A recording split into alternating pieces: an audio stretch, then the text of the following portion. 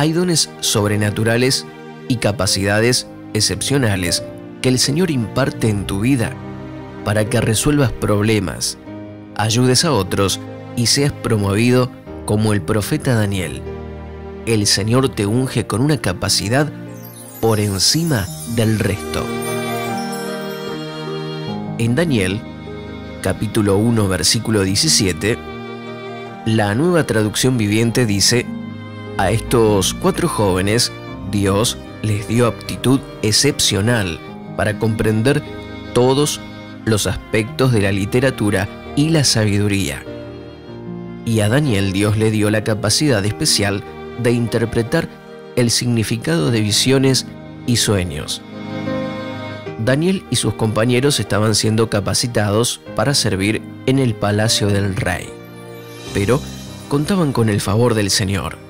Ellos recibieron una capacidad especial para comprender de forma especial las letras y ciencias. Muchas veces necesitaremos recibir dones sobrenaturales para llevar a cabo nuestra misión y trabajo.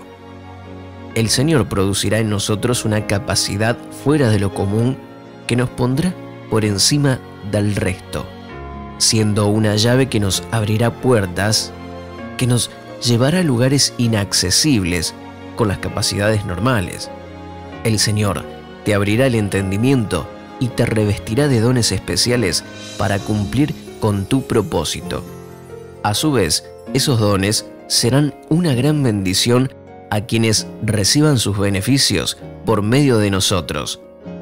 Todos tenemos dones designados. Estos requieren humildad y consagración. Llega el tiempo donde recibirás capacidad sobrenatural para resolver problemas y establecerte en un nuevo nivel. Hagamos esta oración. Padre, hoy desato sobre mí los dones que has designado para llevar a cabo mi propósito en este mundo.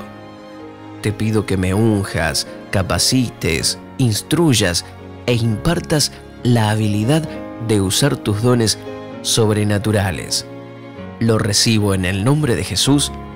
Amén.